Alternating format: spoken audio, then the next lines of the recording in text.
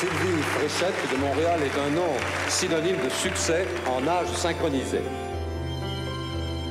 C'est très difficile pour moi de dire si j'ai été trichée ou non.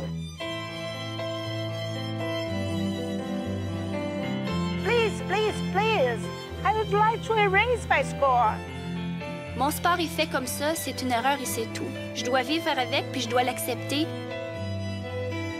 Si je me fie à tous ces commentaires-là, la réaction de la foule, je crois vraiment que ça a été ma meilleure performance à vie. The only thing I can say is, Sylvie, forgive me.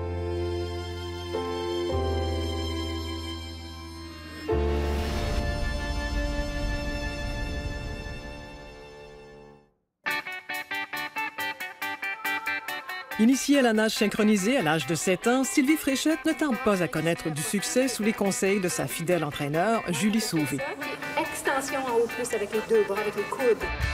Dès 1986, à sa première compétition internationale, Fréchette rafle l'or aux Jeux du Commonwealth. Elle répète cet exploit en 1990 et devient la première nageuse à recevoir une note parfaite de tous les juges à l'épreuve individuelle. Elle est reconnue comme étant véritablement la meilleure de tous les pays du Commonwealth. L'année suivante, à 23 ans, Sylvie Fréchette devient championne du monde en solo et obtient du même coup le plus haut pointage de l'histoire des mondiaux. De 1988 à 1992, elle domine la planète synchro. Fréchette remporte toutes les compétitions internationales en solo auxquelles elle participe. Mais d'abord, félicitations, Sylvie. Merci beaucoup. Je vous promets de, très belles- de très belles performances à Barcelone. Sylvain Lake, le conjoint de la championne du monde de nage synchronisé, Sylvie Fréchette, a été retrouvé mort hier dans sa résidence de Laval. Le journaliste sportif de 26 ans et ex-spécialiste du 400 mètres se serait suicidé. Sylvain Lake devait quitter Montréal pour se rendre à Barcelone hier soir pour assurer la couverture des Jeux olympiques pour le réseau TVA. L'entraîneur de la jeune nageuse Julie Sauvé a déclaré que pour le moment, Sylvie Fréchette se rendrait aux Jeux olympiques de Barcelone. Elle va aux Jeux olympiques en ce moment, oui.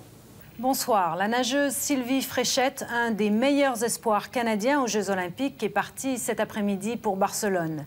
Mais avant de quitter Montréal, la championne mondiale de nage synchronisée a tenu à rencontrer les journalistes et elle est apparue très secouée par le suicide de son compagnon Sylvain Lake. Je voudrais juste vous remercier d'être venu. Je tout simplement vous dire que, très honnêtement, c'est l'épreuve la plus difficile que je suis en train de vivre en ce moment, mais je tenais à la partager avec vous parce que vous avez toujours été là pour moi dans les bons et dans les mauvais moments. Puis je voudrais vous dire la raison qui m'a poussée à, à décider de continuer d'aller à Barcelone, c'est tout simplement parce que tous ceux qui ont connu Sylvain, ils savent ce que représentaient les Jeux olympiques pour lui, autant en 84, en 88 que maintenant en 92. Ça fait 18 ans que je m'entraîne avec Julie, que j'ai eu ma famille en arrière de moi pour m'appuyer. Puis même Sylvain, il a toujours été là aussi pour m'appuyer. Puis je me dis, ça m'a aussi fait réaliser à quel point je l'avais dans le sang.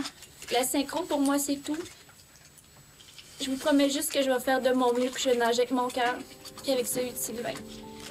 C'est bon?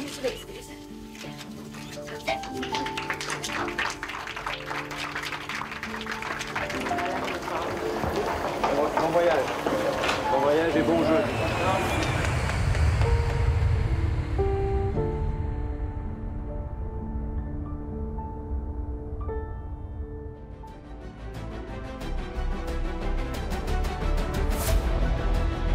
En 1992, la ville de Barcelone accueille les premiers Jeux olympiques d'été depuis la fin de la guerre froide. Et pour l'Espagne, c'est un baptême en tant que pays hôte. Autre fait signalé, aucun boycottage. La dernière fois que tous les pays ont été réunis pour les Jeux, c'était en 1972 à Munich. Le Canada maintenant. Eh ben oui, grosse délégation. On espère au moins plus de 10 médailles. a declarar abiertos los Juegos de la vigésimo quinta Olimpiada de la Era Moderna en Barcelona.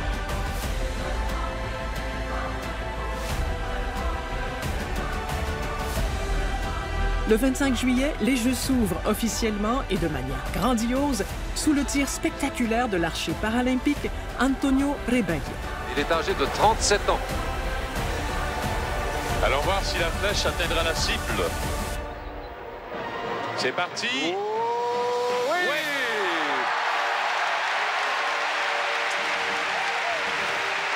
Eh bien, ça y est, cette flamme qui va pendant les 16 prochains jours.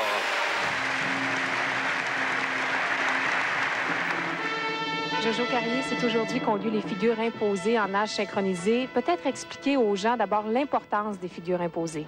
C'est très important parce que ça compte pour 50% des points et ça, ça reste jusqu'à la fin. Ça va être additionné à la note finale en routine. C'est donc dire que Sylvie Fréchette, par exemple, elle doit se maintenir près de ses rivales pour euh, rester près à la note finale? C'est très important parce que cette note-là sera additionnée à sa note en routine libre en finale. Alors, les figures imposées sont essentielles. Il faut que Sylvie fasse bien aujourd'hui. Et c'est pas le côté quand même le plus spectaculaire d'un synchro. C'est très technique. Les figures imposées, c'est une suite de positions, de transitions plus ou moins longues. Ils peuvent rester en apnée jusqu'à 1 minute 20. C'est très complexe techniquement. Ça demande beaucoup de force de maintien. Euh, les juges vont regarder le côté contrôle. Alors, il faut que la nageuse soit en contrôle total de la figure avec une vitesse égale, uniforme, une excellente hauteur, alors, si c'est une vrille, il faut que la position soit absolument parfaitement droite et la vrille parfaitement sur l'axe jusqu'au bout. Si c'est une figure lente, alors ça devra être lent du début à la fin, une vitesse uniforme, lente, contrôlée. C'est extrêmement difficile pour les nageuses de garder la concentration pendant une minute 20 et de perdre. Les mouvements de main sont très importants pour garder le support et pas voyager. Il faut que ce soit parfaitement sur place, sur l'axe. C'est très difficile pour les nageuses aussi.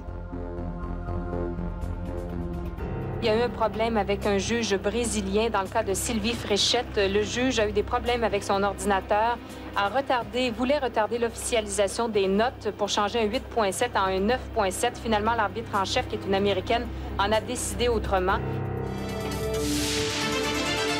Le téléjournal. Bonsoir. Au jeu de Barcelone, la championne du monde de nage synchronisée, Sylvie Fréchette, a été victime d'une erreur qui pourrait lui coûter sa médaille d'or. Une juge s'est trompée en marquant sa note sur le tableau informatisé pour des figures imposées, ce qui a relégué la nageuse montréalaise en deuxième place. Le Canada a contesté et la décision sera rendue dans quatre heures, juste avant le début de la finale. Alors je me suis dit, Sylvie, tu n'as pas le contrôle là-dessus. Garde ton énergie pour demain. Et puis demain, prouve-leur ce que tu es capable de faire.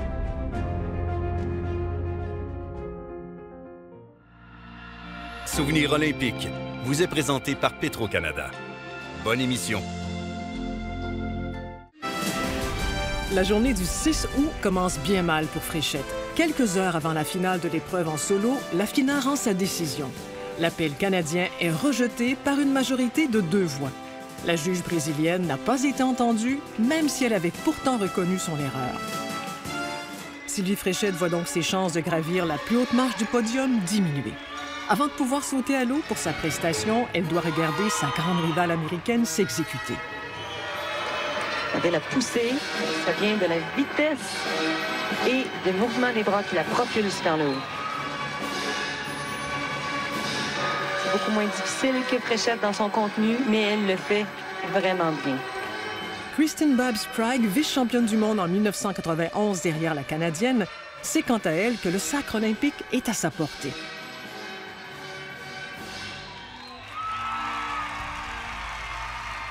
Les dés sont pratiquement jetés. Avec trois notes parfaites, l'Américaine laisse très peu de chance à son adversaire et se voit déjà récolter la médaille d'or. Numéro 8. Start number 8. Sylvie Fréchette qui est tout simplement resplendissante. Vous allez voir son maillot. Regardez-la.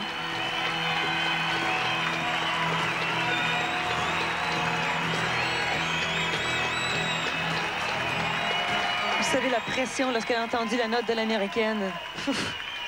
Imaginez, il faut rester tout à fait détendu et en contrôle. Comment est-ce qu'on peut comparer sa routine à celle de l'américaine?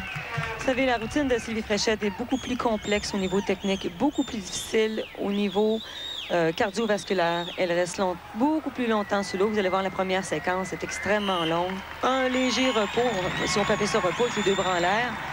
retourne encore dans une autre figure. C'est beaucoup, beaucoup plus difficile physiquement et techniquement.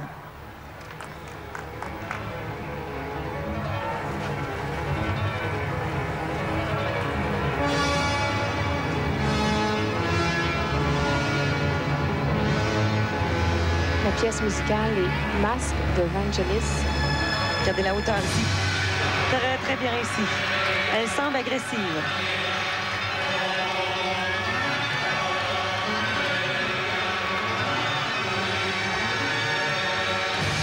Oh, quelle énergie.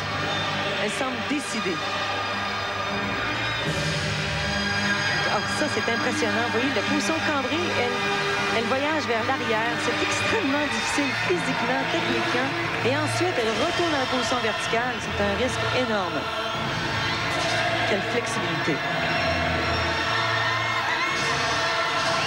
Regardez la hauteur de sa poussée. Les cuisses complètement dégagées, deux bras en l'air pendant tout de suite après une longue séquence sous l'eau, sans respirer, elle est exténuée, deux bras qu'elle soutient encore en dehors de l'eau. Regardez ici. Double verticale. 1, 2, 3, 4, 5, 6, 7, 8 demi-tours. Un légèrement cambré.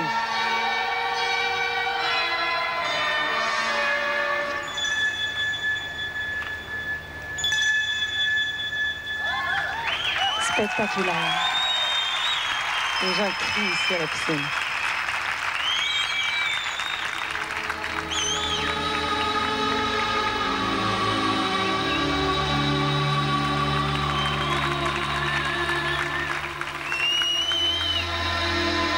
Belle prise de vue ici.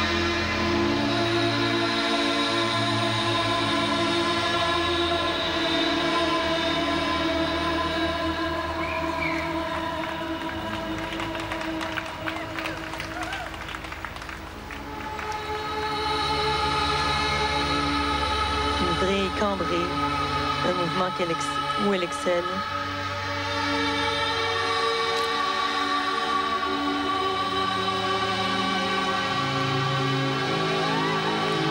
Suivi d'une vrille.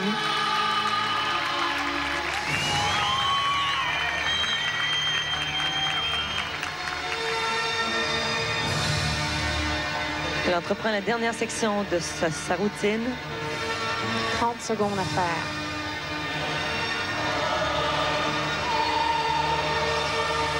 Regardez la hauteur encore une fois. Et ça, tout à toute fin de la routine, ça demande beaucoup, beaucoup d'énergie. Sylvie est la nageuse qui se déplace le plus autour de la piscine.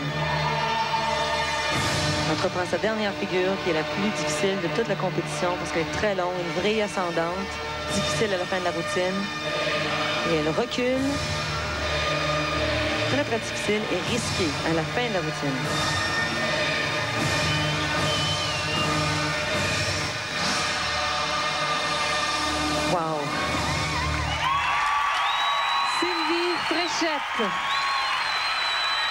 Quelle championne?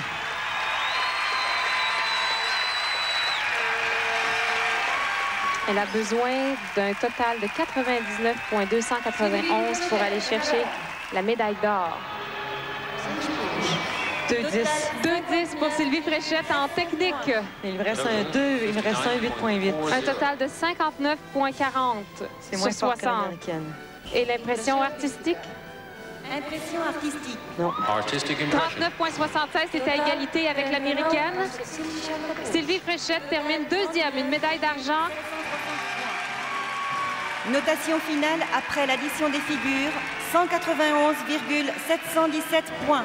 Eh bien, ce que vous voulez. On espérait vraiment que Sylvie puisse continuer. Elle avait la- C'est vraiment une grande championne. Je pense que tout le monde la respecte d'une façon. Malheureusement, le contrôle, c'est pas nous qui l'avons en tant qu'athlète. Sylvie a gagné l'épreuve solo cet après-midi. Ses notes de sa routine étaient supérieures de 12 centièmes de point à celles de l'américaine Kristen Babs Sprague. Alors, ce sont finalement les figures imposées qui auront tranché dans cette lutte qui durait depuis toujours entre Kristen Babs Sprague et Sylvie Fréchette. C'est deux rivales, c'est deux grandes amies. Même si c'est très individuel au niveau des solos, il y a des liens qui se créent.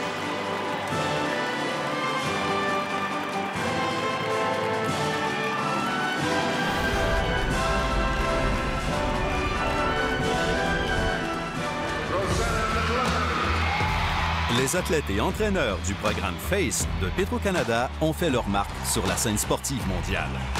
Rosie McLennan et Ashley Lawrence ont pu compter sur cette aide financière pour monter sur le podium des Jeux olympiques de Rio en 2016.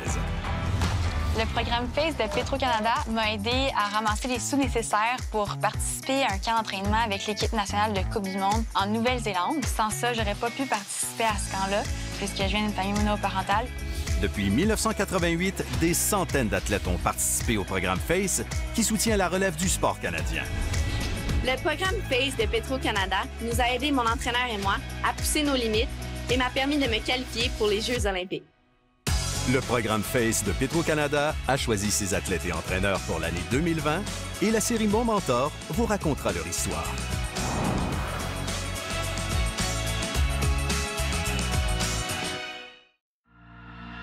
Souvenir olympique vous est présenté par Petro-Canada.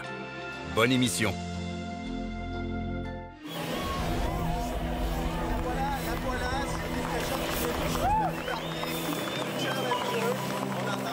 Cinq jours après avoir reçu la médaille d'argent, Sylvie Fréchette rentre à Montréal la tête haute.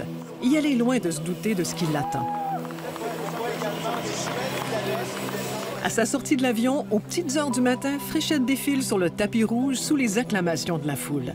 À ses côtés, Julie Sauvé et les jumelles Penny et Vicky Villagos, médaillées d'argent en duo. Je pense que je peux pas être plus satisfaite parce que j'ai fait ma meilleure performance à vie. Puis aussi de sentir que tout le monde est aussi satisfait que je le suis par l'accueil que j'ai aujourd'hui. Je pense pas que je peux être déçue. Oui. Mais déjà, sur le coup, c'était clair dans ma tête puis dans mon cœur aussi. Puis de voir que c'est pas comme ça seulement pour moi, mais pour tout le monde qui était ici présent, puis même pour ceux qui n'ont pas pu se déplacer, il n'y a pas de chance. Il n'y a pas de chance que je sois déçue.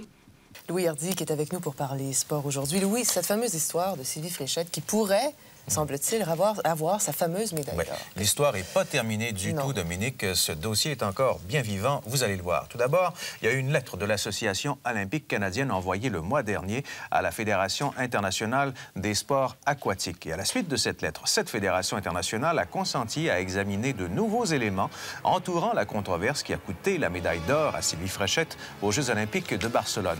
L'Association canadienne a demandé à la FINA qu'elle dépose une requête auprès du Comité international olympique pour que soit attribuée une médaille d'or additionnelle à la compétition remportée par l'Américaine Kristen Bab Sprague. Donc, celle-ci n'est pas inquiétée. Elle conserverait sa médaille d'or, mais une autre médaille d'or serait attribuée à Sylvie Fréchette. Évidemment, mesdames, messieurs, ce n'est pas encore fait. C'est donc à suivre. Ben, habituellement, c'est payant, la patience, le courage, la détermination, et ça aura pris 16 mois finalement, mais quand même, la championne de nage synchronisée, Sylvie Fréchette, a enfin reçu sa médaille d'or.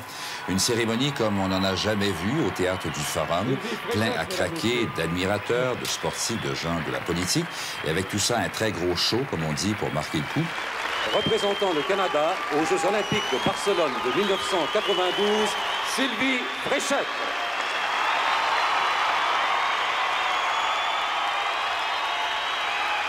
Pour moi, euh, une championne doit avoir euh, sa médaille. Et euh, ce soir, ça est arrivé.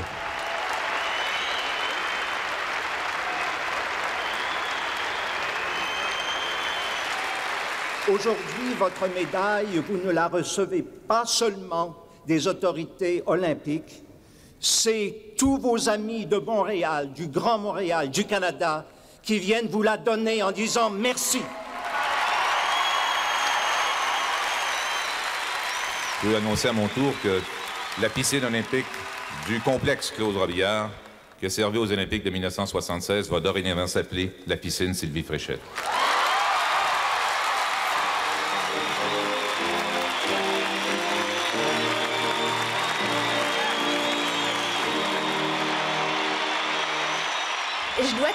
J'ai rarement été émue comme je l'étais ce soir. C'était, je pense que c'est inexplicable. Aux Jeux olympiques, on dirait, on s'attend à ça. J'étais vraiment dans, ma... C'était un corps d'athlète qu'il y avait là-dedans, là, puis c'était un corps qui était entraîné.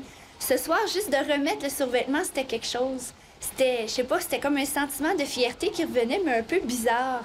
Puis de me retrouver là sur un podium avec une médaille, avec plein de gens comme ça, autant d'énergie, c'était. Je te dis, il n'y a pas de mots pour décrire comment je me sens. J'en ai encore la chair de poule. c'était vraiment extraordinaire. Devant l'injustice et l'adversité, Sylvie Fréchette est demeurée fière du début à la fin sans jamais abandonner.